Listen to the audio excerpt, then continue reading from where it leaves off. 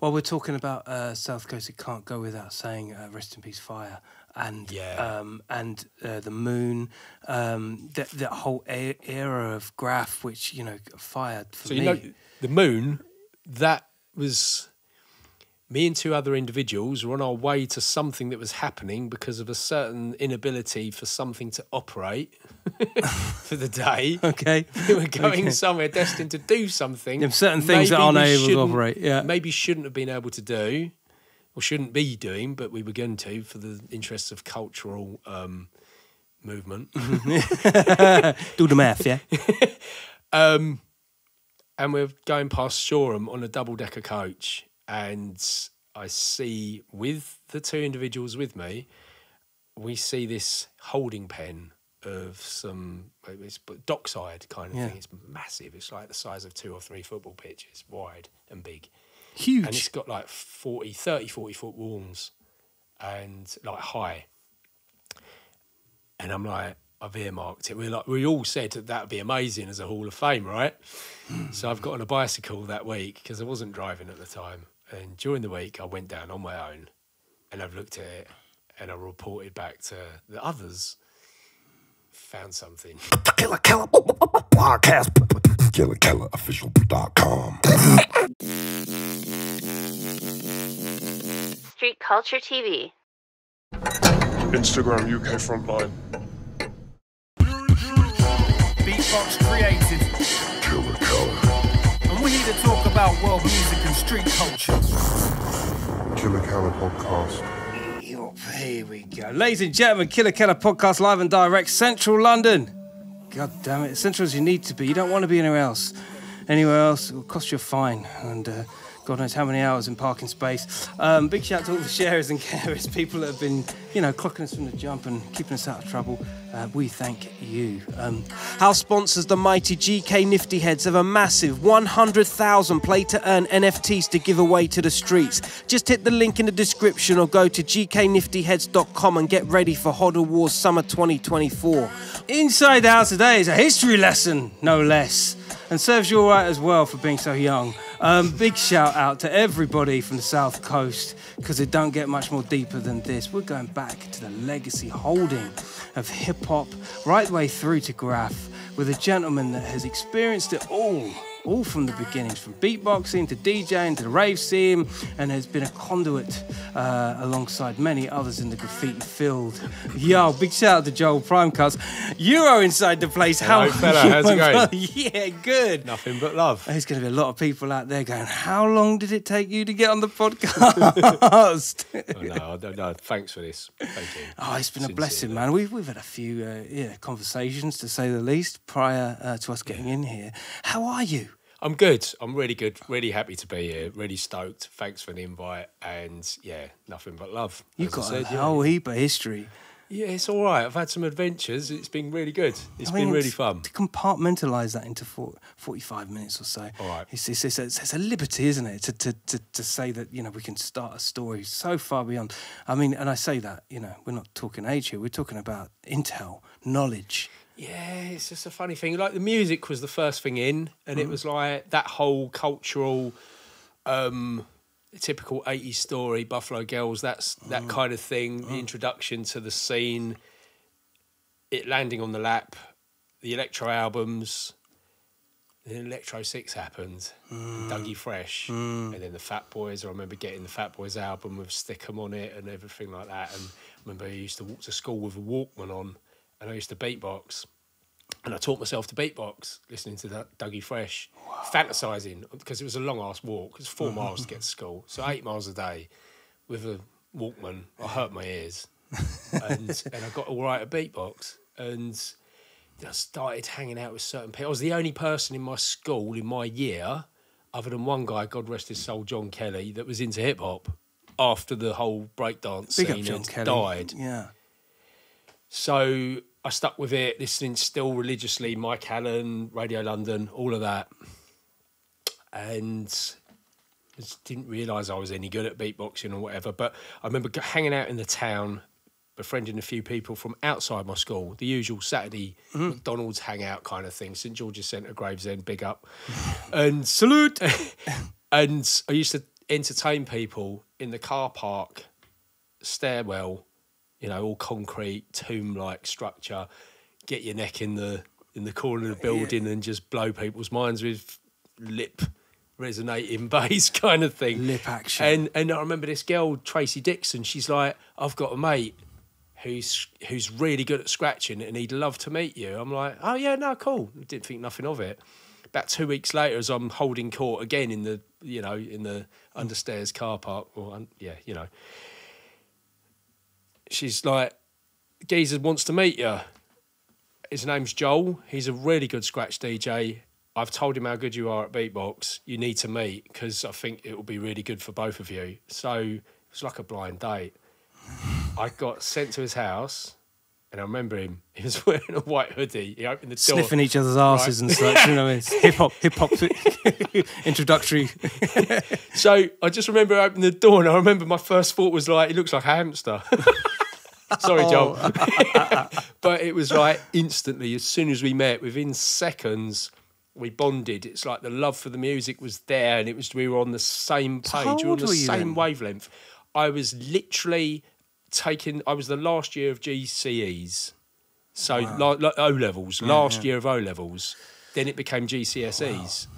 So he was a year younger than me, so he had he was about to go into the fifth year, and I was about to go into the wide world, and we hit it off. We became instant best mates. It was just like, and he had two rappers from London, Chris Allender, big up. We ain't seen you for Tight, years, Old but- tight. and then MRG, otherwise known nowadays as Mr. Offkey, who's hmm, hmm, a Yeah. soul collector, like just oh, one, OG. one of my still one of my most blessed people to have in my life, right? And now residing in Bournemouth. So we all they lived in East London. Joel had his dad in East London, but his mum in Gravesend, and I, I at that point I moved to Grave, um, sorry, from Gravesend to Sittingbourne in Kent, and didn't know anyone. So for the next six months, every weekend, Joel's mum kindly let me stay at his gaff. Wow. So we really cemented the music thing, and that's where Kissy K used to come down. Still to this day, one of my closest mates. Dusty in the background. Big up, Dusty. Yep. By the way, and, hold tight, and still Dusty. again spoke to him yesterday, texted him today. He was meant to be here today. Yeah, Dusty. yeah, yeah. Where yeah, are you, my friend? Otherwise engaged, helping some people out. But Cleaned up the sofa and everything. so yeah, and what like I've really valued these friendships. Still, mm. this really important to me. Well, they last forever. This yeah, is, this is they do. And I've moved. I've been transitionary. I went to Ipswich um, with a friend, and uh, we went up. He had a girlfriend up there. We went on a whim on a weekend. Mm. Thought it was a laugh. Met up with some graph people that were really heavyweight. Mm. Um, I ended up moving out there with him. Just thought it'd be a crazy thing to just spin everything Youthful around and wisdom, just you see. Youthful wisdom. we were like, fuck it, we'll do everyone's head in and just move to Ipswich.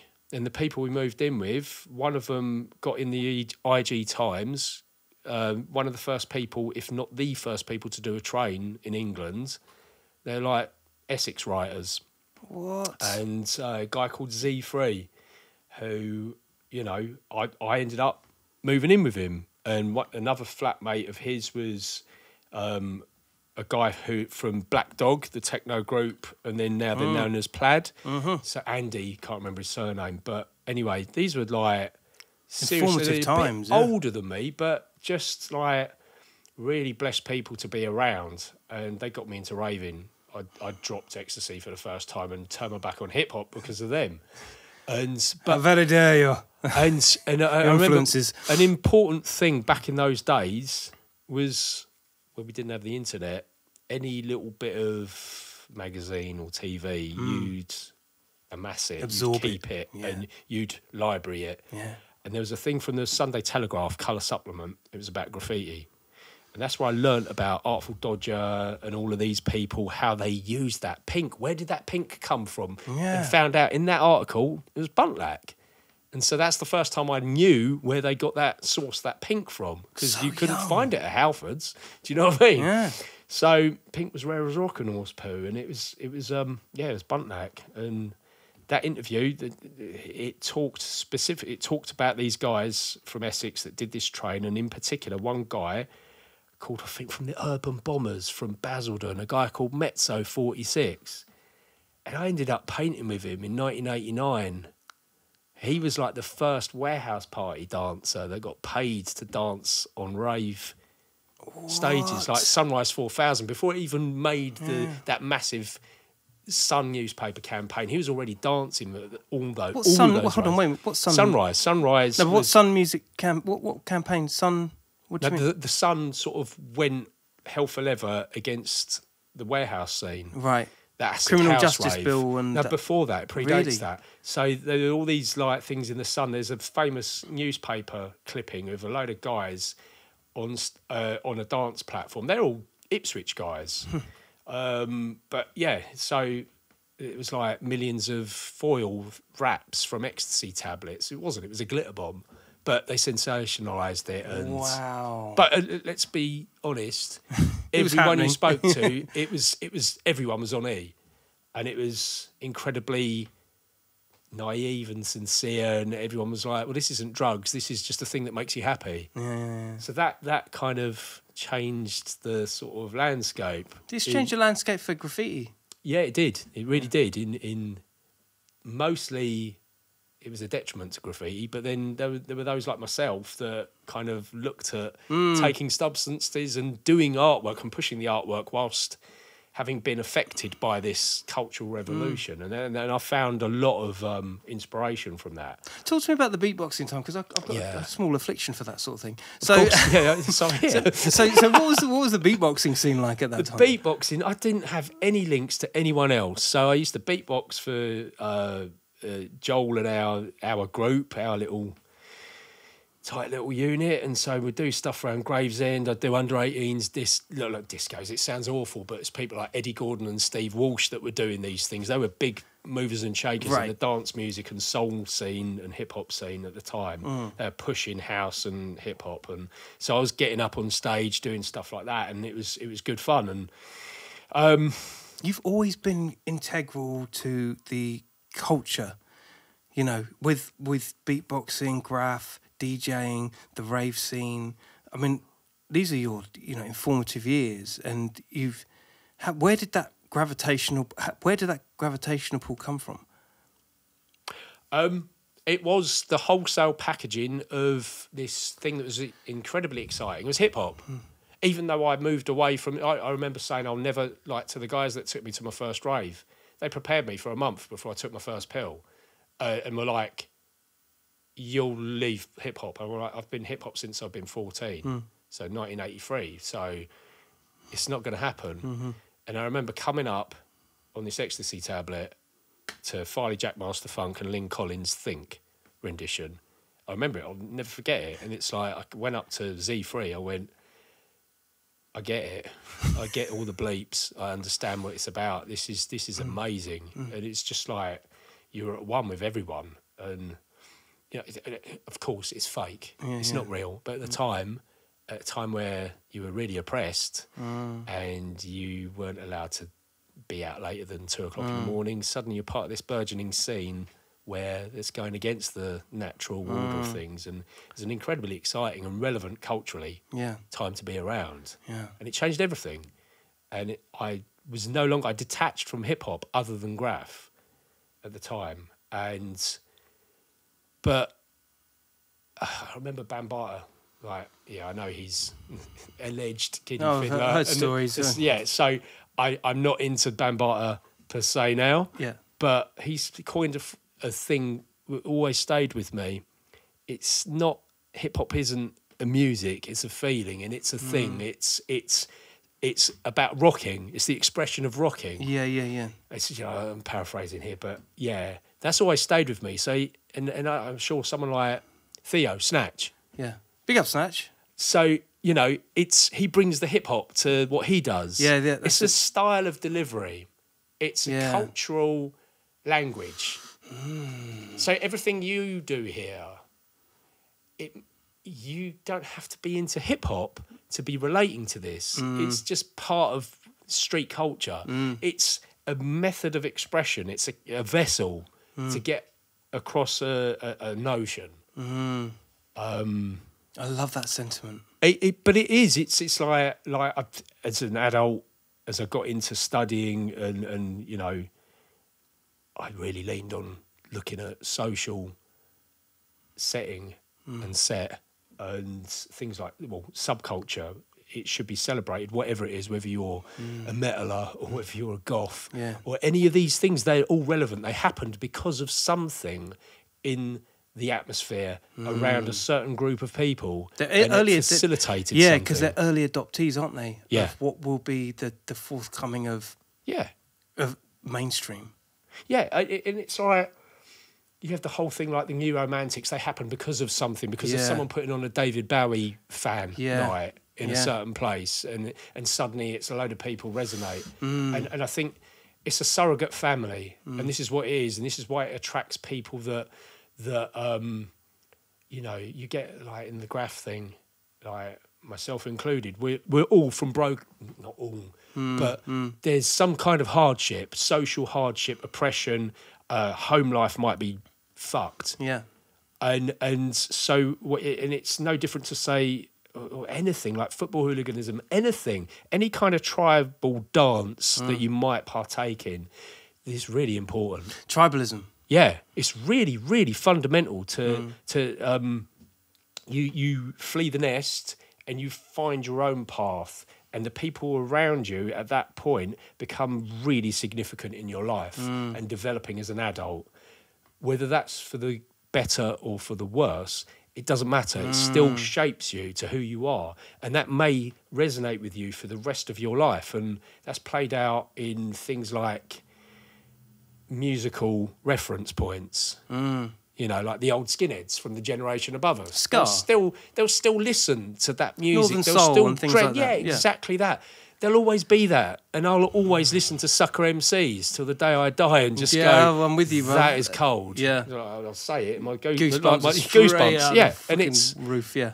it's really vital. Subculture is, is vital to those that didn't have the most beautiful, pristine of Yeah, paths absolutely. through life. It's really important. Um, graffiti reappropriates itself within different genres and different fields nowadays. Um, to be a, to be a graphic artist, and this is only through the podcast I say this. You know, there's there's so many subcultures that are intertwined, like skateboarding and Yeah. graph. You know, it's in my mind it's one of the same, but for a lot of people it's like, well, actually we're into Oasis or we're into you know hard house. Similarly, I can't identify with skate. I, I appreciate skating. Yeah. I, I was BMX, so a different a different thing The entirely. war continues. But I but I don't I don't resonate with skating, and that's cool. Yeah. That's fine. And but I understand that's part of the you know for those that are into skating, Mm. it might be punk, it might be hip hop, it might be both.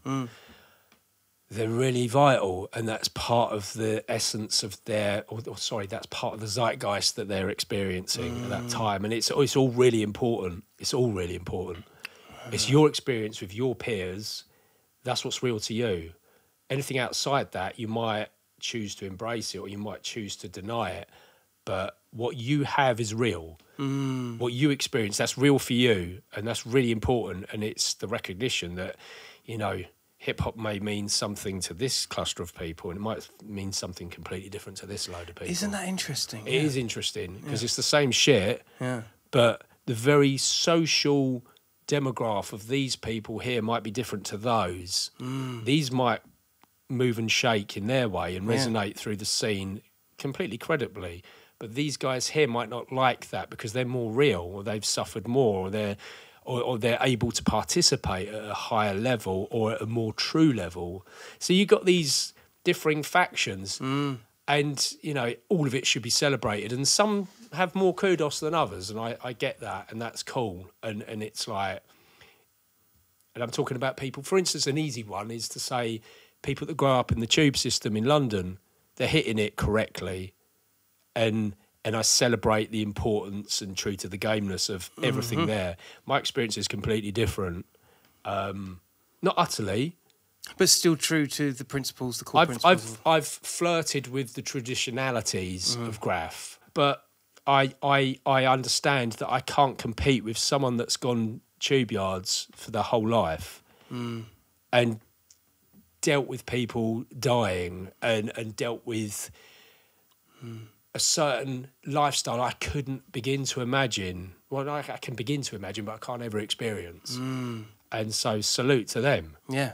Um, Nothing plays out more than the podcast because after, you know, God knows how many episodes, you do catch a, a, a, a more broader understanding of how a culture like graph or hip hop is reinterpreted depending on your social circumstances, places in the world. yeah. um, New York, you know, the Yeah, yeah. 1980s, and the fact that it's either it f- it flew over almost like a almost like a um, um, a desert storm, Uh, and, It was a pre-packaged thing. Yeah. Someone put, I can't remember the exact wording, but it was like an Airfix kit. yeah, yeah, yeah. It, it was in spray can art. and Yeah, I yeah. thought that was perfectly put. It really It, was, was. it, it arrived on our laps, and we could assume it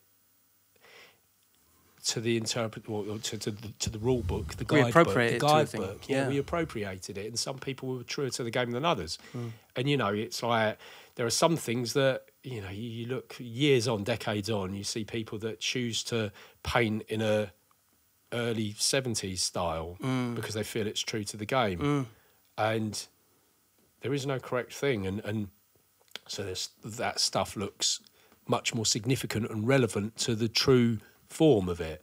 And that's cool. And I think that's really kind of letting go of the ego just to be traditionalist. And I Yeah. think it's really important, really important. Um, and then there are other there, there are other sides to it. There are people who rock the halls of fame, and and there, there are different motivations and different reasons, and and I think all of it belongs. Yeah, you could argue that some of it isn't as real. And I myself, I put myself in the I'll rock up with some friends, and I've heard people put this down, and I, frankly, I don't care. It's like we all take part, and we come at it at the angle we come at it from. From an age range in which Yeah, maybe at the time you didn't realise, you know, being so young. Because my guy I'm not done, talking about young people looking at it because they can't relate, and I can't relate, and because of the age difference and disparity and social. So Mm. I, I'm not in London. I'm on the south coast. So No, but from a point of view of as you as you grow into the culture, and bear in mind, you know, 50 years of hip hop, 60, 70 years of graph. Yeah. Um, of course, it's going to be adopted in a different light as you grow with your perceptions of the culture. As as you grow, and your life journey as Yeah. well, because that will flavour it. You might go down a different route completely Mm. To where you would thought you were headed, just because of marriage and social circumstance, and that opens Things and stuff like that. doors. Yeah. and, and that might take you on a different journey to what you would have thought you'd gone on, and all of it's relevant and Yeah. irrelevant. yeah, totally. so, yeah. Ipswich, KMC. So right, okay. So there's me with our little group, um, and I've got a mate, aviator, Mark Gaskill. God rest his soul. Passed in '96, and we took it quite hard when that happened. But that's that's a different story. But so, um, he and I went on this little. He was he was a bit of a lovable rogue.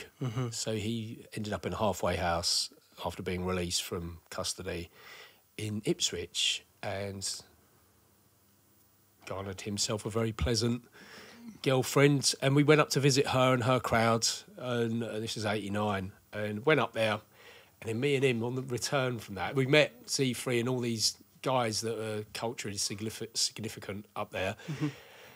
And uh, we decided to move up there just to do everyone's head. That was it. That was the reason to do everyone's head in Gravesend. Just We went up there. We left um, and up sticks, and within a few days, like, like if I go back to Red Lion in Gravesend was a culturally significant hotspot, and there used to be hip hop dudes, and I remember me and Joel and, and our MCs we performed at the Red Lion pub as part of a bigger bill.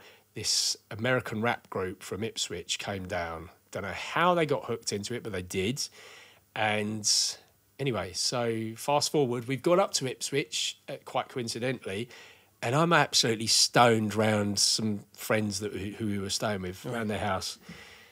And uh, this manager from that rap group turns up and he's like, "Oh, Mark, I heard you here, staying here. You, you scratch a bit, don't you? Um, uh, KMC, they've just sacked their manager. Do you want to come for um, an audition? We need a DJ, DJ to perform. on- We're just cutting a record." Yeah. And he's like, "Yeah, okay." So I'm like, "Oh, can I come along?" Stoned off my nut, and and so I've gone along, and they didn't like what he did, and I said, "Can I have a go?" And I did it. And they're like, "Whoa!" And they're like, "What's your name?" And I went, "Euroh," with an H at the end, and they were like, "Whoa!" And they- they're like, KMC, the rapper, he's from St. Louis, Yeah, Missouri. right, yeah. So he, his sister-in-law was one of the secretaries to Louis Farrakhan. So he's really involved headlong into black consciousness. Yeah. And he's like, you're over the H, that's Hannibal. Hannibal conquered Rome. You're in. and it's like Wow. suddenly, suddenly I'm I'm in straight away. My my little audition was cut to record. Um, and And you got signed yeah, in. got I was there. I was part of this group with this like. There's a moral to this story here, reco- kids. recording. Wow. Yeah, yeah. When when zooted and you get the offer, just go. Just go. Wow. Seize the day. Incredible. So um, yeah, we ended up supporting KRS One, Bristol Bierkeller, two thousand people. Um, I got carried off stage because I played a Louis Farrakhan speech at the end of our set. I didn't. Eat, I, I- suddenly, I was lifted up, and and everyone. It was just the weirdest thing. I'm like, whoa! It's just our B sides, second track on our B side. You know, Wow. and and and did the pink toothbrush in um, Essex with KRS One using Scott Rock's turntables. You know, after he'd passed, then Give me a handshake on that, please. then then also Incredible. Colchester University. Strangely, there was five UK dates of that tour, and we did three of them, and it was just mad. And I was like, oh, and we we got Daddy Freddy's manager, a guy called Offman. So he was married to one or with one of the Wee Papa Girl rappers. Big up, Daddy Freddy, by the way. So Wow. yeah, and and so we had a load of stuff. We we turned up for uh, Def II at Camden Palace. Mm. We were there. We missed the sound check because of messing about and traffic coming from Ipswich. So we got to hang with Adamski's friends, Entourage, whilst they performed. We we couldn't be on TV because we missed our slot for sound check, and and and then most famously we had the poll tax anti gig, which was at Brixton Academy. Um, we were on like our MC, who was all about about black consciousness and was super articulate. Um, one of my biggest role models in my life. He was an incredibly intelligent guy. Um, and yeah, this guy Kevin McCurry, who's just like, just he was a street poet and ended up a rapper. Um, he came to Ipswich and landed this record deal, and he was extremely articulate. Like he knew exactly why the crack epi- epidemic had happened in New York. He named politicians and people that had destroyed the Yeah. black ghetto systematically. So he was switched on, and yeah, he got invited to the pre-gig com- press conference, and Rebel MC was in attendance. Big up Rebel MC. Yeah, hold tight. Um, and everyone was gauging because he was the flavour of the month. But the press just honed in on him because of what he was saying and stuff. And we were going to ditch our set, and I was just going to spin two breaks. I remember it was two copies of a depth charge release, right? And I remember that I didn't have decks at, at my gaff. I, I was going to the record label's studio and practicing. What I didn't realise, they had these Ortofon cartridges that mm-hmm. weren't spherical, they were ellipse. So they're more hi-fi. All to So they- other needles that are on the on the record, by the styluses. Yes, that's right. So it was carving the records twice as fast as a normal cartridge would. So by the time we did our final show, like final rehearsal on the, the, the Friday night, and here's me, I'm shitting myself because it's like I'm not really. It's prime cuts. He's the DJ. I just had a bit of a scratch. Wow. So I'm a beatbox and a and a DJ for this group, and and yeah. So to just to say, I wore out the records, and there weren't any in Ipswich to that I could get hold of to replace it. I got accused by the group of sabotaging it on purpose, and it broke my heart. Hmm. And it's it really wasn't. I was wholesale into it. Yeah. Anyway, politics destroyed the group. We didn't do that gig at the Hmm. uh, at the, um, at the you know the Yeah, London gig. yeah. It didn't happen, and it was just like I got blamed for sabotaging it, and I was completely innocent. So just to clear the slate clean here, that that was not the case by any stretch. Yeah, and it's such a shame because, Hmm. well, you know, it's one of those. We were one of the, we had everything set up, ready to go to America upon proof of pudding in the UK. Gutted. And we did some things in like I mean they were older and they weren't really connected to hip hop as such. Mm. I knew about hip hop mm. because I was part of that. Yeah, yeah. They weren't so much. They were jazz musicians and poets mm. and they really they sort of were riding the crest of a wave and taking the opportunity. We did a few shows and I remember being a um, an attempt at a UK fresh type of thing with a load of UK acts. Uh, it was in Southall in '89, and we appeared. And I remember my my group introducing me as the best DJ and beatbox in the whole world to a fairly volatile of that Mm, yeah, time London crowd, Yeah. and everyone just booing. And Yeah, here's the bus. You jump Think, under yeah, yeah, yeah, And it's like, why did you just say that? Yeah, yeah, I didn't yeah, need to say that. And yeah, so the, the So you had an inkling that this really wasn't. yeah, yeah, yeah, yeah, perhaps. And yeah. you know, and it's I still am in contact with Kevin. He's back in the states now, and love him to death. He's one of the most pivotal people in my life. Mm. I t- I learned a lot from him, and I, I want to give props to him Yeah, right big now. up that. Big up that. Um, four star general because that was the- around the same time Yeah. Ipswich where you kind of. What, let's, let's talk about four star general because that as a place was just an Yeah, so amazing. we're talking Carnaby Street Yeah. times, and at the time, I I was travelling down from um, the the the stalwart of hip hop that is sitting born in Kent. Hail up, hail up. hey. I, I was coming down uh, to London with Joel and everyone and hanging out. Um, and that was one of the places to go to. And, and I'd see they were doing custom graffiti shirts. So I was just like, me too, I can do that. Yeah, yeah, yeah. And so it gave me a, a break. And I did them for about six months. I wasn't as good as the others, but you had Crime Ian and you had Wild Child Ricks doing stuff. And Vassan was was also part of the, on, um, the, the, the staff there and George. So big up to all Yeah, of those people. Um, and I did them for a while. So I did that, and that really, for me, as an out of towner, that felt significant. I was, you know, showing that you could be bumpkin and, For the have some relevance. you Yeah. know. Yeah, and also it was a different kind of. Uh, it was a different kind of um, medium, wasn't yeah, it? yeah, a whole different kind of medium for its time. You've you you're from what I am led to understand, you're very good at repurposing yourself into, and and I think a lot of it hails to you know going with intuition.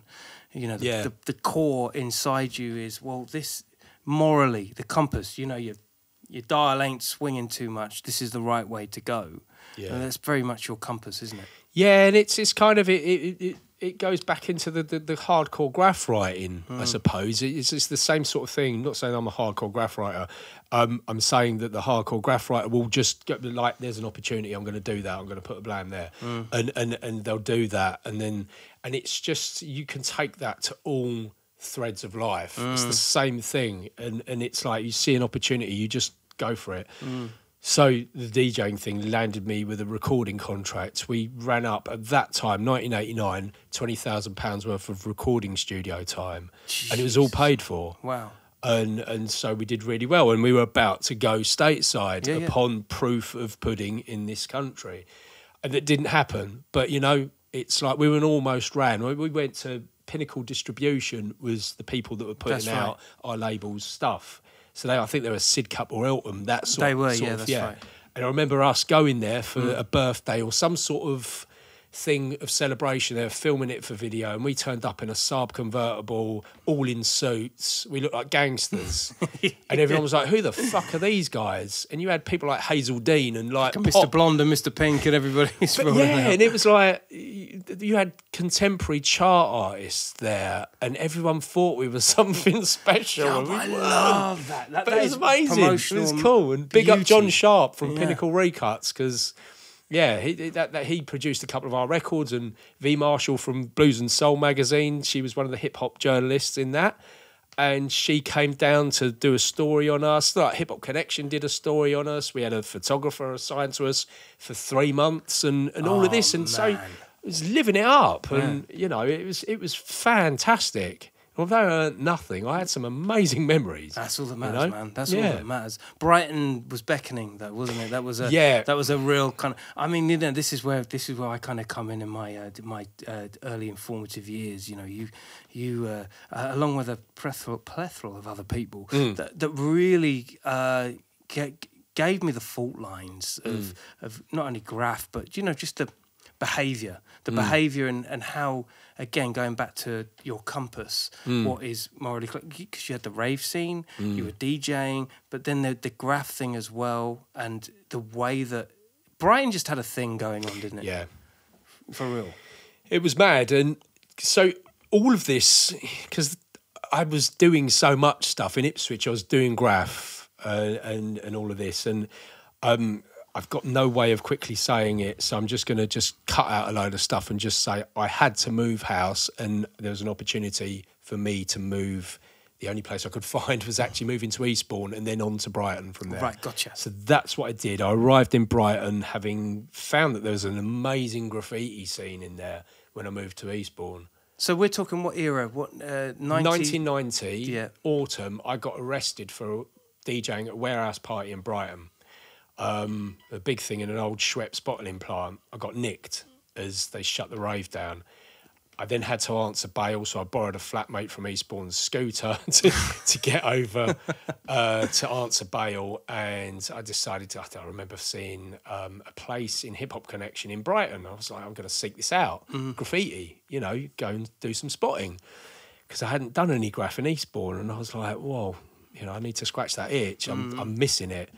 And I found Black Rock and it was Sheehan Rec and Zinc. They were the standouts. And it was like, and Jay oh. Dell had a piece down there, mm. Chiba Wizards crew, and of course I knew them from the Hip Hop Connection photos. And I was just like mind blown. It was like, these letters are like mine, mm. but these are really good, mm. like scary. Two colours on whitewash, but wild styles, and like to a level that I'd only seen in subway art. Two colors it's just it was insane. And and so yeah anyway I, I- I went back mind blown started sketching loads. Then I put on a night with I'd started to make inroads DJing wise in Brighton and I put out um there's an old venue called the Asylum which became known as the Loft and then the Lift I think uh, going back years, but Brighton venue put on a rave called the Rolf Harris Cartoon Club with a picture. Of, I designed the flyer. It was Rolf Harris's face. It was my DJ partner Chaos from Eastbourne. We used to do all the big raves, Storm and Passion on the south coast, Hastings Pier, Brighton, and all of that. And um, put this flyer out at Roundel Records in Brighton, and Rolf Harris plus some graph lettering, and Rec One worked behind the counter. I didn't know that. And he's gone, Who hmm. did this flyer? And I went, Me. And he's like, I'm Rec One. I'm one of the main oh, ambassadors of graffiti for this town. And that's where I linked with him and got in touch with him. Very shortly after that, I moved to Brighton. I could have either come to Brighton or, or, or London, and I chose Brighton and got in with him hmm. Suddenly I had a circle of friends of other writers, and they had this scene going on. We used to meet at a place called Biderbecks in the north, uh, sorry, in the lanes, and we'd have writers' benches at a pub uh, in a beer garden, and we'd sketch. That's where I met Fire. I met uh, a writer at that time called Curb, who was Train King at that time, um, and Slab, who went on to be. T- uh, movie title artist in you know in the film industry in America, and and all these other cats that were just fly as fuck. And sh- I can't underestimate meeting she and Rec. That that they their study of subway art, they deciphered every letter style that floated. They were serious cats, man. They were ridiculous. I- I've got to add gravity to this. She One in '91, had over 21 black books. what? He used to sit And he'd have an A5 black book, and he every time you saw him, he'd be sketching. He had it like an illness. He had to write his letters. That's why his letter forms are so bloody good because he just didn't stop sketching, and I really adopted that. And Rec was the same, but Rec was a bit more like she had his one tangent he was going on, and they were battle letters. Yeah, they yeah, were yeah. not. They were kind of Aggressive. they were aggressive, born of Chrome Angels letters, yeah, yeah, that's crossed with Subway art, like maybe uh, you know um, uh, Dondi, you know that that that kind of flow, just perfection. And Rec was a lot more fluid, a lot more talented, and incredible. These two guys, I remember seeing their work and thinking, well, this is exactly like my sketching, but mm. they've gone in and learnt more before me. Mm. And I really aspire to be on that level. And there's so much more to this, but that's for another day. But yeah, that, that I was inspired. And so we became this crew called Colour Cosmos Crew. Uh, which didn't last very long. It was literally, CCK? yeah, everyone that did graph Mm-hmm. was in on it. And then after a while, as history has served to show, actually it was Rec and Nima that put this crew together. And essentially it was the biggest hitters in the crew and it expanded to other towns. Petro became part of it. Carl and Tempt from Manchester. Big up to all of those guys, especially Petro, because he's he's one super gifted guy. Who became- because you guys- mellow fellow. But you guys did the shop as well. We You- did the shop. I came in on Petro's shop, Mm-hmm. and that was at Worms Paint. So first of all, it was at Suicides, which is a skater shop. That's uh, but then it uh, Mex opened up his hip hop. Uh, and break Big up shop. Mex, by the way. Yes, indeed. Oh, Nothing sorry. but love for Love you, Mex. Fantastic Love you. fella. Um, and Petro wanted to shut up shop because he was going travelling. I bought into the business, so carried it on, and it didn't last in the end. Mm. and, the kind of the, the the flow was that Rarekind used to come for us, to us Mm-hmm. to order paint, and in the end they came to us and said. Can we start up? Because we hear you're thinking about shutting up shop. And I sort of said, Yeah, here's my blessing, carry on. And then they went and did many great things. Wow. Because they were more Yeah, on, yeah. finger more on the pulse. Incredible. They were the right age. History right Yeah, here, baby. yeah, yeah. So- wow. Nothing but love for Daz and all those crews, Mm-hmm. that crew. Um, and yeah, so that was that was it was a really good time for Brighton. There was lots of things going on. Arrow was doing his thing with his crew, Daz and his crew doing their stuff, and there was us old fogies, us old timers. Man, Brighton was just such and so we became like DFM got shut down. Nima called time on it Mm-hmm. Um, because there was a certain thought that it needed to be more hardcore, less walls, more about realness, Mm-hmm. and and so that happened, and then you know they went off and they they formed TPG, Mm-hmm. which went on to all sorts of stratospheric crazy things. craziness, which big up. That was just a, a mad time for Mm-hmm. Yeah, and if you want to check out TPG as well, then and Yeah. we've got Kings and Toys on the on the channel as well. You can check that out. So that was crazy. So Yeah. it, was a Crazy era. amazing time to be around, and we we were sort of like we had some really gifted people. I, I remember I put Score into DFM. Hmm.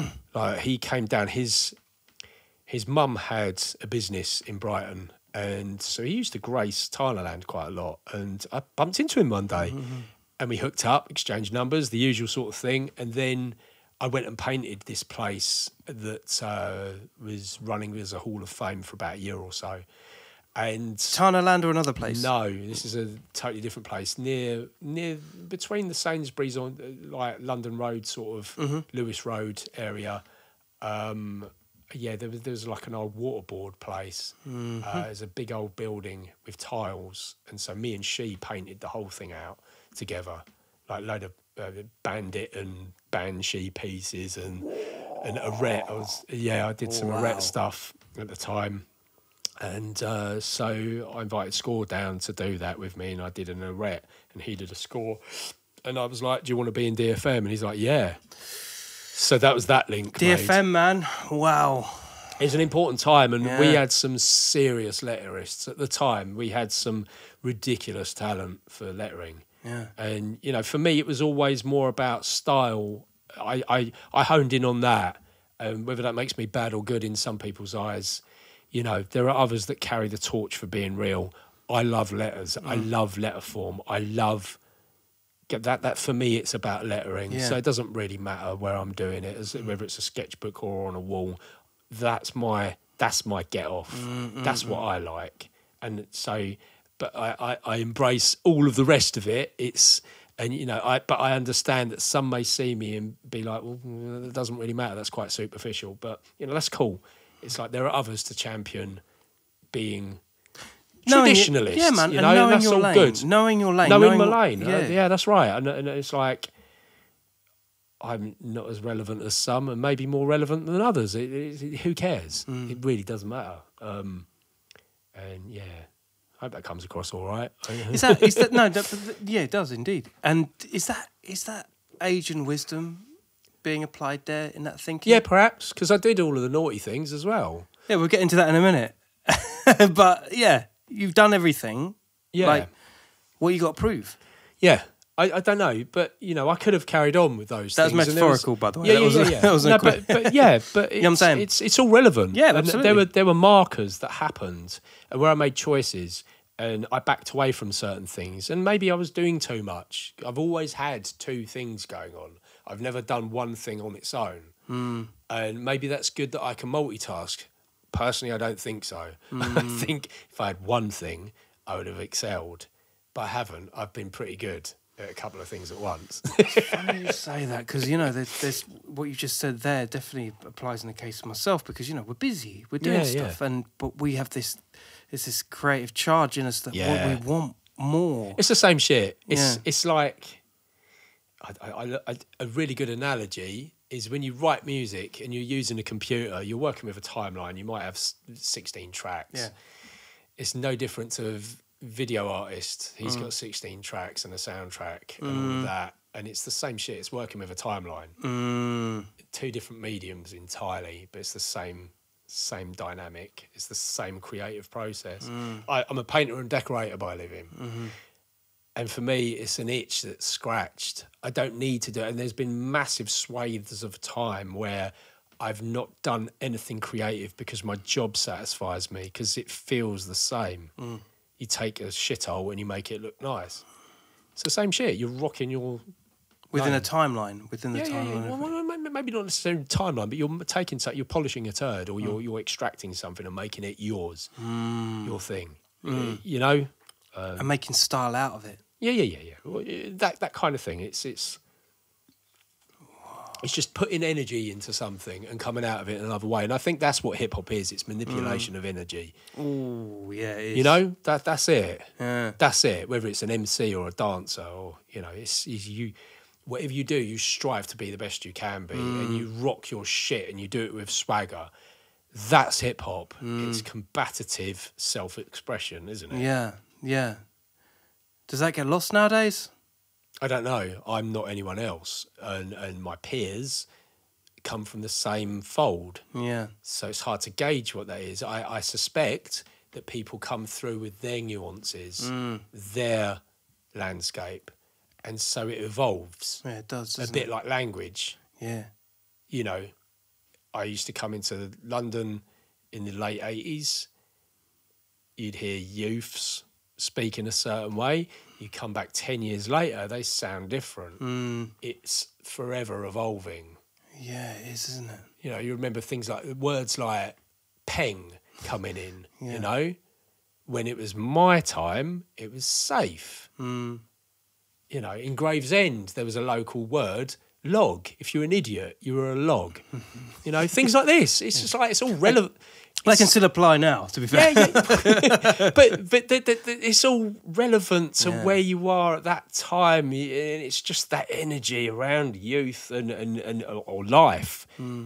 in that stratosphere, and and yeah, it's it's. you observe you observe street culture. I do, but I'm I'm a fan of social. I'm I'm a fan of sub subculture. Hmm. I find it inherently interesting, whether it's punk or goth, or I, I I'm not one of those. Hmm. I'm not into that, but I love that energy. What creates that? It's what what what are the ingredients, the components that cause this little faction of culture to erupt and become something that's quite dominant for a while, perhaps. Yeah. It doesn't have to be, but there, there might be something really interesting about it, whether it's skinhead and ska or two tone or football uh, hooligans and stuff like that. I, I watch so much on YouTube about different things, condi- social conditioning that that invites this this this void to be filled, and you get these colourful characters that that move and shake in their own resonance. Yeah. and and, and it's I think it's wonderful. That's what It what I enjoy. isn't it?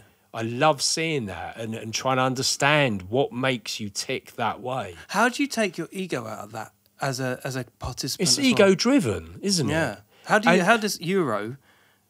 How does Euroh remove that ego?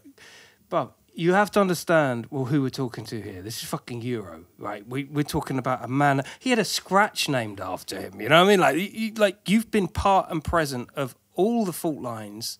How do you take your ego away from that and, and look back and say, yeah, yeah, that's But I right. think the ego is part of it. It's a pseudonym. It's like I was Euroh the graffiti writer. I had good letters or whatever, and, and you know people knew me for doing X, Y, or Z, and it was relevant to that little social circle.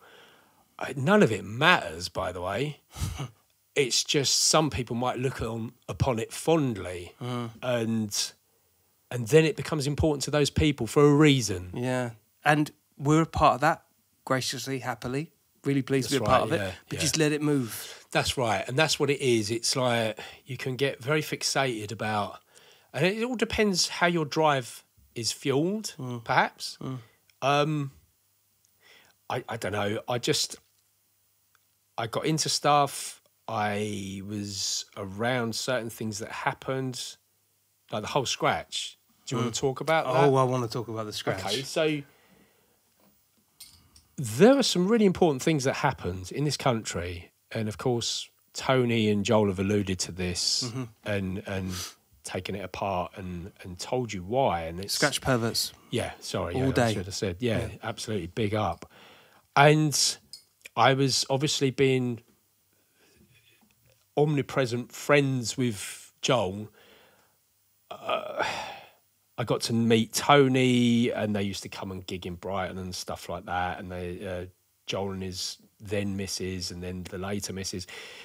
Obviously, I've known them really, really well. But him and his old missus used to live at uh, not live. Sorry, he used to come and stay at my house for the weekend when there were gigs, and so we spend all this time. And sell One from Gut Snipes would come and Big hang out and stuff. So yes. Stuart, Big Cell, yeah, nothing but love again. Um, yeah, so there was this thing going on. The the whole scratching thing was happening, and I remember Joel showing me this is pre uh, Vestax hmm.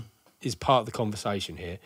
So I remember Vestax was a mixer that he used to use. yeah, it was the first mixer that had a VCA crossfader. So it was a voltage controlled amplifier. So the crossfaders of old used to have the signal running through on a carbon strip. So physically, the, the fader would go from deck one to deck two, and it would be done on that strip of the fader travel. Mm-hmm. So those would wear out really fast. So you might get a mixer, and within two weeks your crossfader's gone. So you'd employ WD forty to to get get it conducting again, and eventually it would die, and you'd have WD forty sprays was as important as a spray can at this point. Yeah, for sure. You know, if you don't have a WD forty for this crossfader, then yeah, you're in you, trouble, you, then you're not practicing. Yeah. uh, uh, yeah, it's not happening. So, um, up to this point, there was no replaceable crossfaders, so it was a whole unit. Mm. So, so I remember like DMC released PMX two, I think it was called, um, mixer for the DMC competitions. That's right. I think Pogo and Swifty developed that, Mm-hmm. um, and essentially Joel was showing me this new scratch. I remember it was a Babu Shortkut and um, D Styles tape. No, sorry, it was Melo-D, Babu, Ah, and Shortkut. All right. And Melo-D comes on scratching the good from the not bad meaning, meaning bad, but bad meaning good. And he does this thing and he's flaring with it. And it's, but it sounds like it's swinging and it's just weird. And Joel deciphered it and was like, this is what you do. It's like, it's inside out. It's an unnatural fader movement. So he showed me how to do it. So I was like, cool. And I was playing at I was playing at free parties out in the fields on on the downs in Brighton, which were a big thing back in '96, mm-hmm. whatever. So he's got these flares down, and then suddenly Vestax come out with the 05 Pro, and I, yeah. I my mixer was an 05 Mark Three or, or Mark Two. This was before the Pro. So it was like a made to, if anyone remembers from those days, big up made, made to fades. Vestax had an almost identical mixer, and that was the 05, the original. And so suddenly there was a crossfader that didn't wear out. And it was like, whoa. Yeah. And so Four wheel drive. so yeah, people could practice for twenty hours in one sitting if they wanted to, and it's not going to bleed. And you could adjust the curve, so it's like instant cut off Tight to full fuck. volume. Yeah.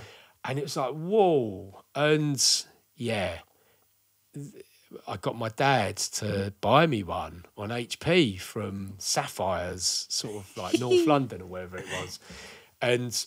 So I got one, and I was the first person in Brighton on the house scene that was flaring you know, I remember going on three decks, wiring up my Vestax onto the left turntable and just, just mixing on the other two. Mm.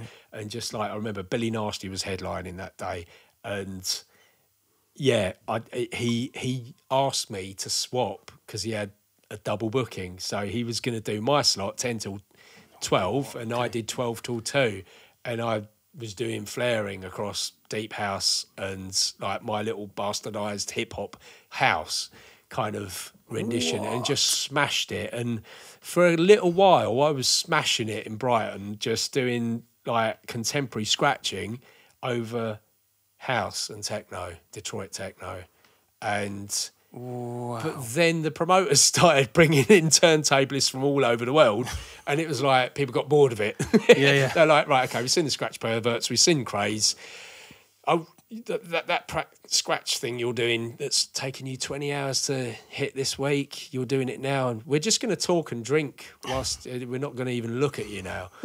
And it was like, what's the point? Yeah, yeah, yeah. That's right.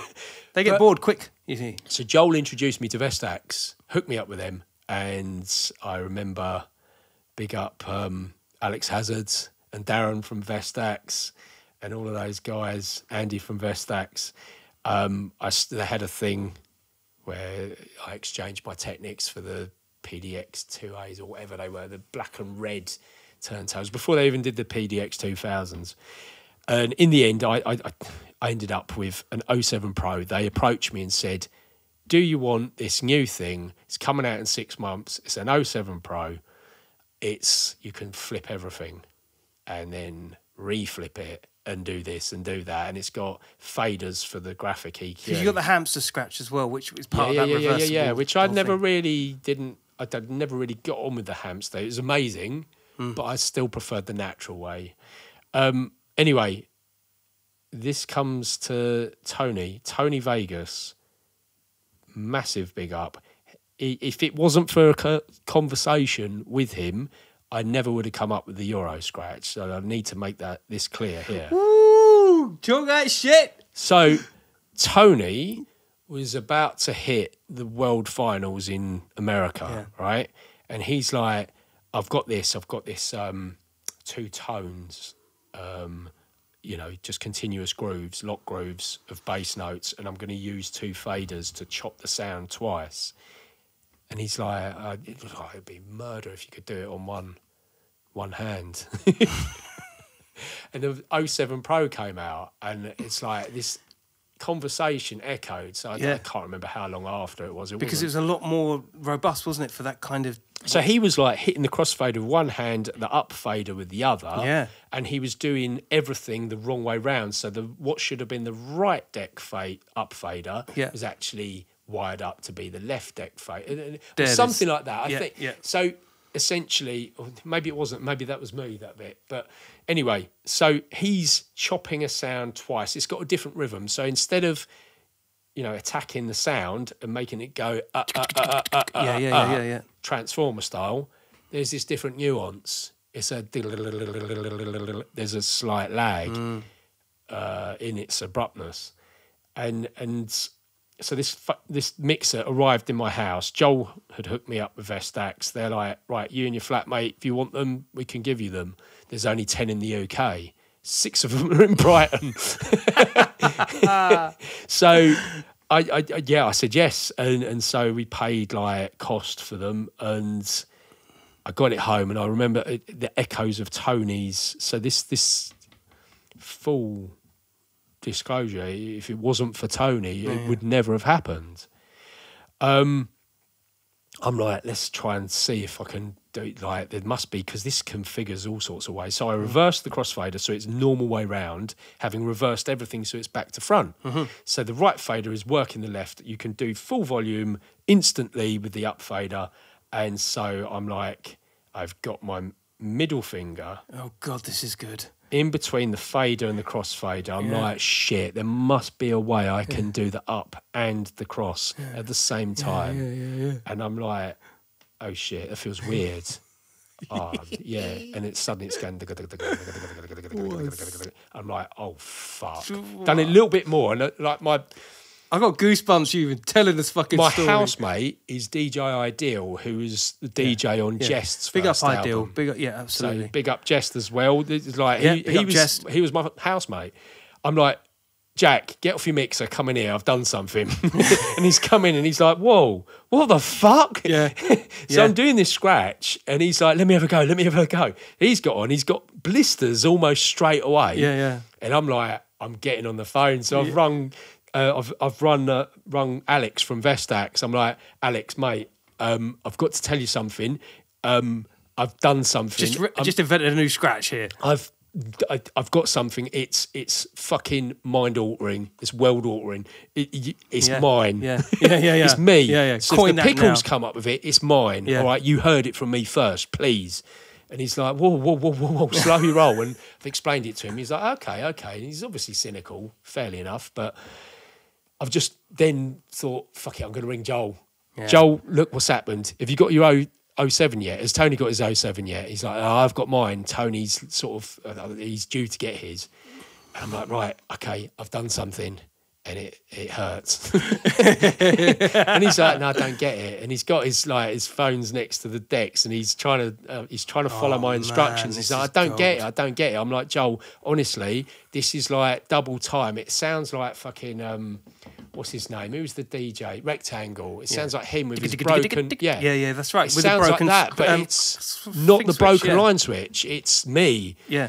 And he's like, ah, I'm getting in the car. And he's driven from fucking London to Brighton. And he's like, come in. He's like, what, like, out of the way. Show me, Mm-hmm. show me, tell me. Mm-hmm. Let's do this. Mm-hmm. And he's got on it. He's fucking goosebumps. He's like, I can't fucking believe it. I'm like, Joel, Mad. this is mine. I'm putting my name to it. I've rung Vestax. I've told them I'm not a battle DJ. I'm never going to be a battle DJ. It's mm. just not my my role. Can you do something with this? Can you take it? I know you've got the team battle. Can you utilize this? Yeah. It, it's for you. It's yours because you'll get you'll have traction with it. Yeah. I won't. And it's like it's my gift to you, Bruv, bud. bruv, that is and he took it and he used it in the first team battle. Used it with the the, the oh yes the the German bombers are coming in. Yeah. and he's destroyed the German bomber using the and, and all of that. Euroh scratch, baby. And then he killed A-Trak with it. Yeah at the ITF. Yeah. And it's like cell one, big up again. Yep.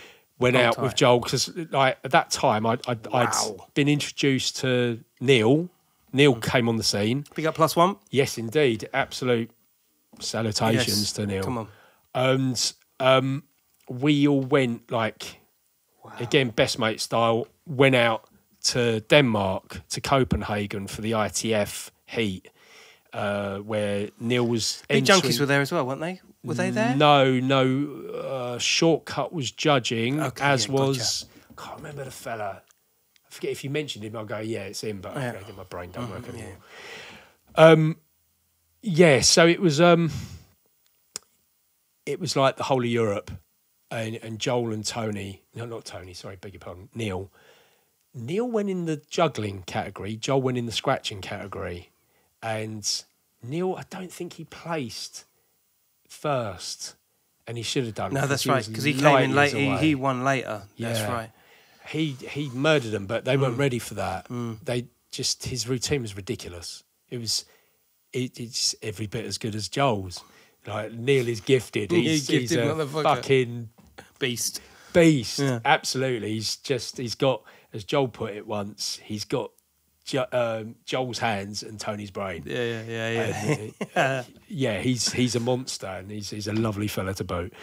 And and and Joel did, and it was lovely because he went and he won it doing the Euroh scratch, and the judges were flipping, completely flipping. And he came out on stage and he's Mad. like, I'd just like like to give thanks to the guy that invented this. He's given it to me to bring to this battle, and it's him there. And the whole crowd turned around. It was just like so. I, that that I absolutely cherish. The. Euro scratch. Yeah, Come on. That. Cherish that. That was that was a moment, and I, I was high on life for about a week solid. Of course, who wouldn't? It's just nuts. Incredible. So I, I'd like to reiterate, thank you, Tony, for that conversation. Hmm. Whilst in my hallway in Brighton in, in the late nineties, It's the way it works, man. it is. It is. It's yeah, and yeah, it's funny. Like I remember Tony coming down to Brighton.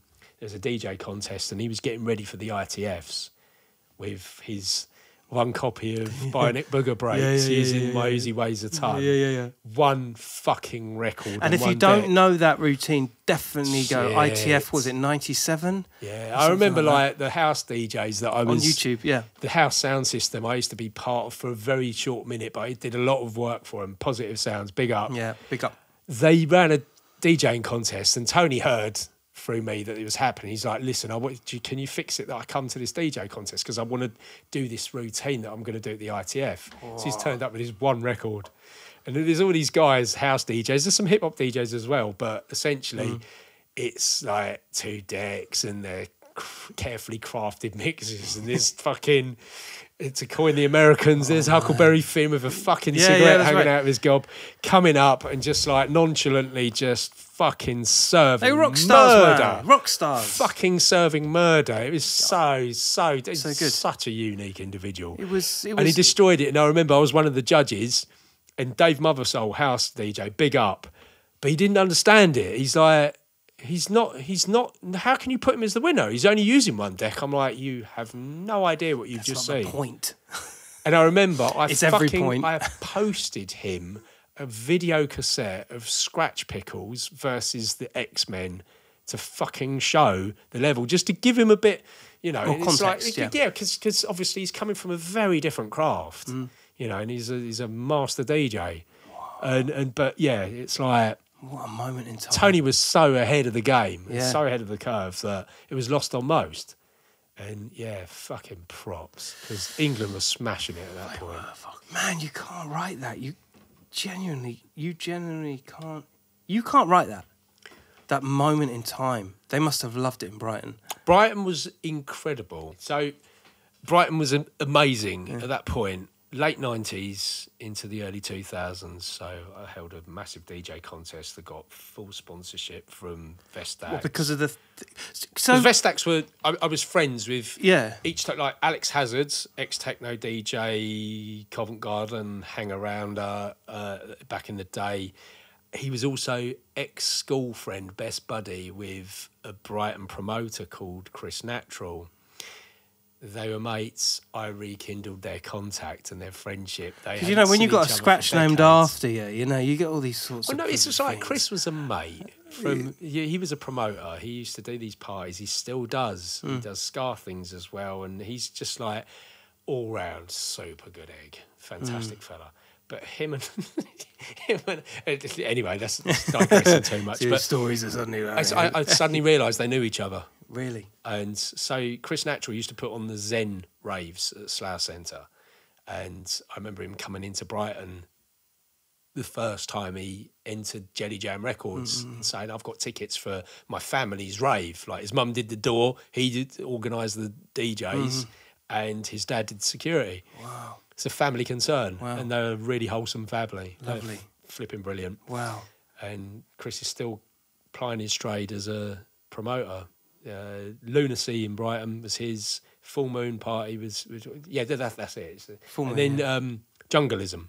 At the, so they're, they're his. They're his. They're his babies. And he does uh, Ska Train, I think it's called now. It's uh, he has Jerry Dammers come through. I forget the name. Forgive me for this, but he's Madness's tour DJ. Mm. Wow. He's resident, and they're amazing nights. By all accounts, I've only been to one of them because obviously I don't really go clubbing anymore. No. But What is life like big now? What is life like now? failed marriage, child from that, 17 years old, Stefan, amazing, amazing kid. He's, Big up, Stefan. He's amazing go karter. He's done really well at school and stuff. He's just finished his A levels. He does custom painting of go kart helmets for people. Really? Wow. At 17 years of age, he's Wow. into double digits, thousands uh, Uh, really? revenue from that. So Fantastic. Wow. Lovely, lovely, lovely son. I love him to death. And then I've got, I'm currently in a failed relationship in a, in a house and we're selling. I've got five year old with her and a stepson. And so that's taken up a lot of my energy. Two two failed relationships. And yeah, it's taken the shit out of my sales. Um, so I'm sure it's the same for quite a lot of people. Mm. But yeah, my, my son, I don't want my son Otis, who's only little. He's, Big up he's fond of- Otis. yeah, Otis. We He's see you really into b-boying. He's really funny. born He's- into the game. He's really into b-boying. He Mm. loves it, and yeah, I see some some forward momentum with that one. Yes, yes, yes. Uh, yeah, So both of my boys, I'm super proud of them. They're amazing. That's fucking amazing, man. That's the shape of life, and I've just rekindled my interest in in who I was because I got because of these distractions. I forgot who I was. Positive distractions, but but yeah, I know what you mean. Positive, but yeah, it's Life like distractions. I, I, I, I'm revisiting who I was now, Mm. and massive respect to you for bringing me on this because it's feels Oh, like everything that's coming together again. This is part of that journey, so I really appreciate you coming on, man. for that. Yeah, I mean, life is full of mini lives, isn't it? Yeah, I mean, uh, I've got my music thing. The, the music thing is is I've been involved in electro for a really long time, and I had a record label until 2002. Uh, ran for a little while. I There's there's so much more. There's Wow. much more story. There's Yeah. much more. Don't doubt But that for a essen- second. essentially, I'm starting to record electro again, and yeah, that's that's been my focus. Yeah. Um, and yeah, so big up to Scape One, people like um, Bass Junkie, Phil Klein, Yeah, yeah. uh, Andy Jaggers, ADJ.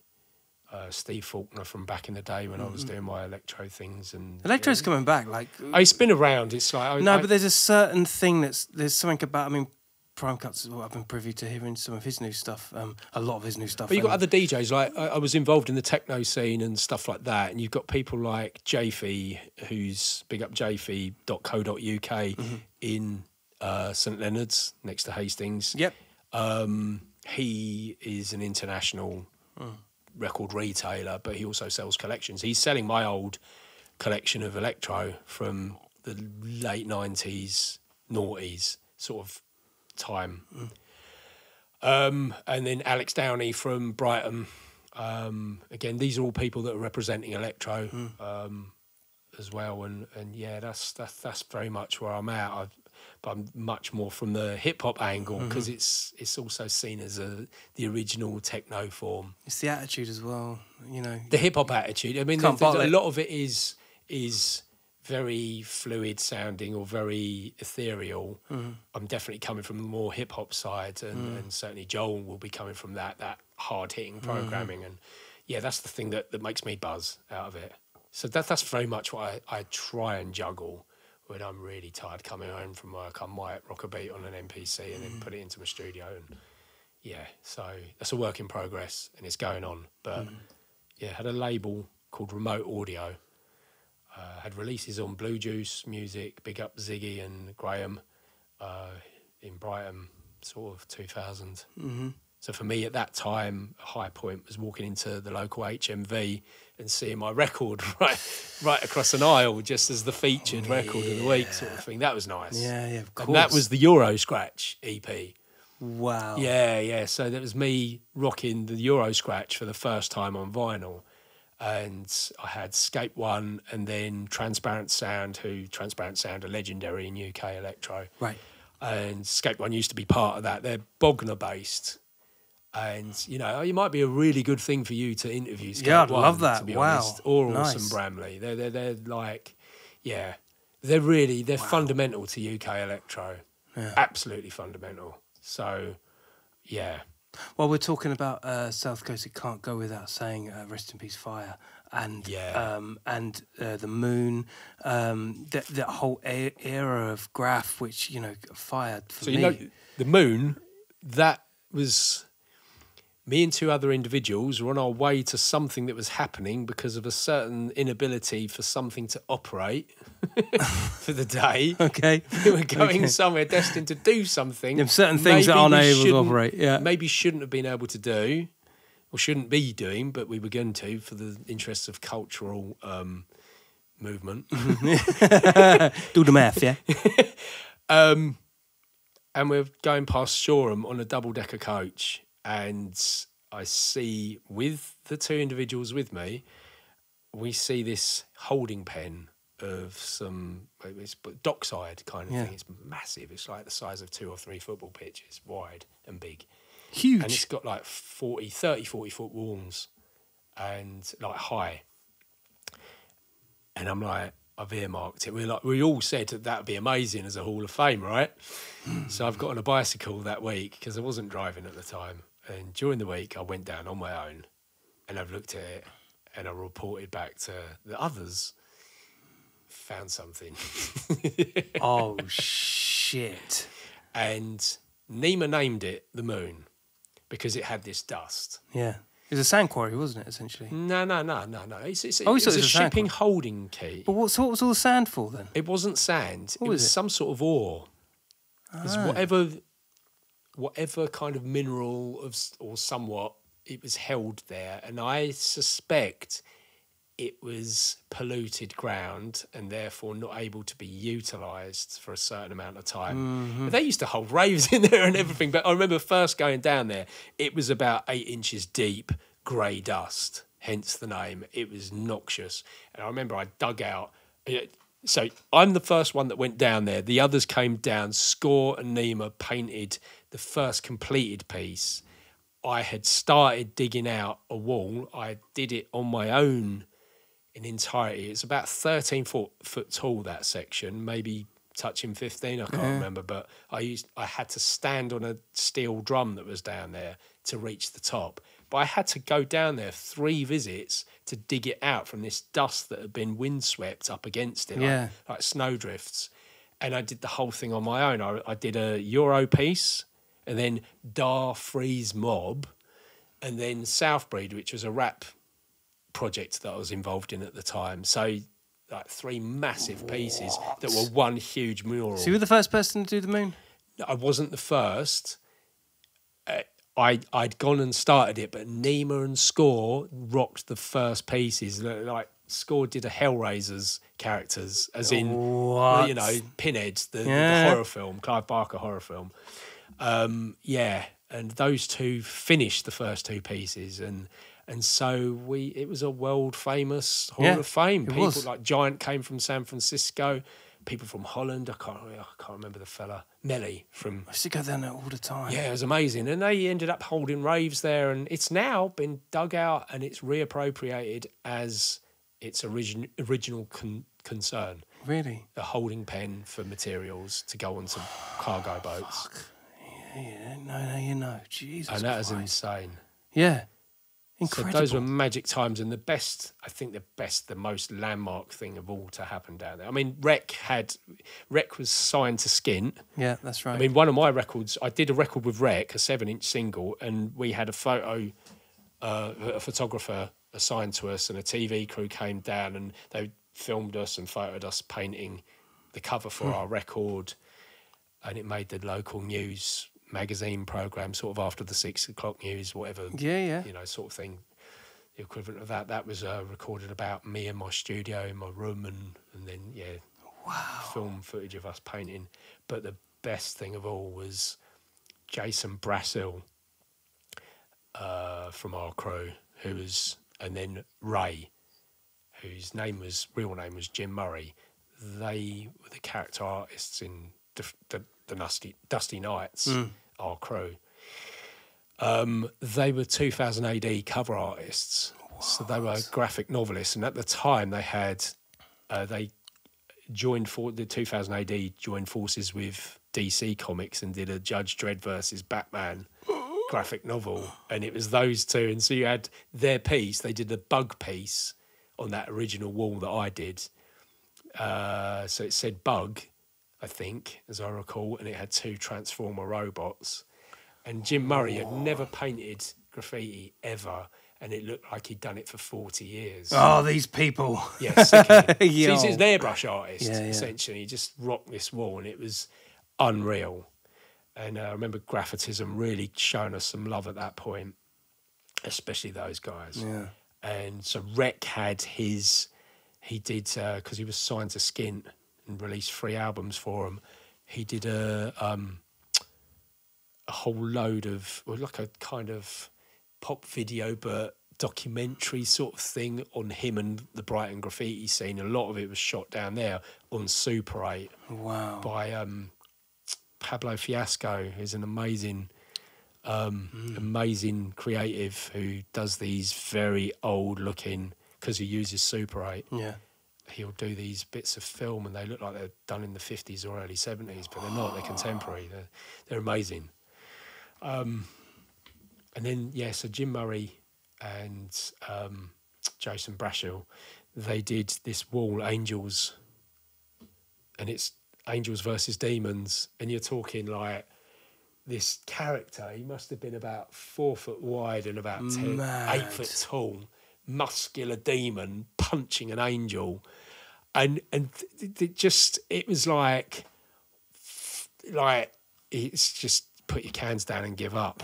This is this is this is unreal. Whole nother levels. Yeah, completely. Like, you know, you're talking by this point the whole etiquette of halls of fame had disappeared Hmm. compared to I mean it's on it was you know, like the Earth's Edge by no limits. It was kind of like that sort of gravity of wow factor.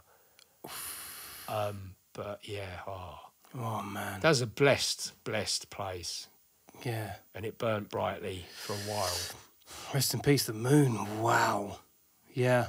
Brighton has and continues to have a shining star in Graph. Yeah, yeah, it does. You know. yeah.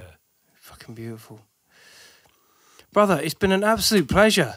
I mean, we Yes, could go mate. for, I mean, we've already been here all afternoon, haven't we, to be fair? But it's been an absolute No, mate. pleasure. Yeah, it's it's um yeah, it's, it's just I think yeah, it's it's a significant tale to tell. Everyone knows that Brighton has a Bristol kind of Connect, element, yeah. connect or not connect, but contribution to Yeah. the Big time. cultural circle or scene. And yeah, it's it's like Bristol gets sung about quite a lot. Brighton has had its time, but Big time. but I think people need to sort of know exactly what was happening. And Hmm. I'd love to see you interview She or Rec. Oh, people like that, because I'll give it. I'll definitely give a testy to have she and Rec in, without question. They- they- They're just. we- We've talked about Rec, you know, and his involvement in my informative years, man. Yeah. Fucking, I would love that. Um, Brighton, uh, hail up, and of course, my brother. Yes, It's my been friend. such a pleasure. No, it's been lovely. Euroh in the place. Come on. Um, big up Arrow, of course, and everybody else that is still holding court over uh, in Southsides. And uh, moreover, thank you all for tuning in. It's been another great podcast. Um, crime don't pay, neither do they. And serves you right if you think otherwise. Uh, stay lucky. Don't talk to anyone I wouldn't. Um, and yeah, take care. Nice one, Euroh. Nice one. Easy. Wow.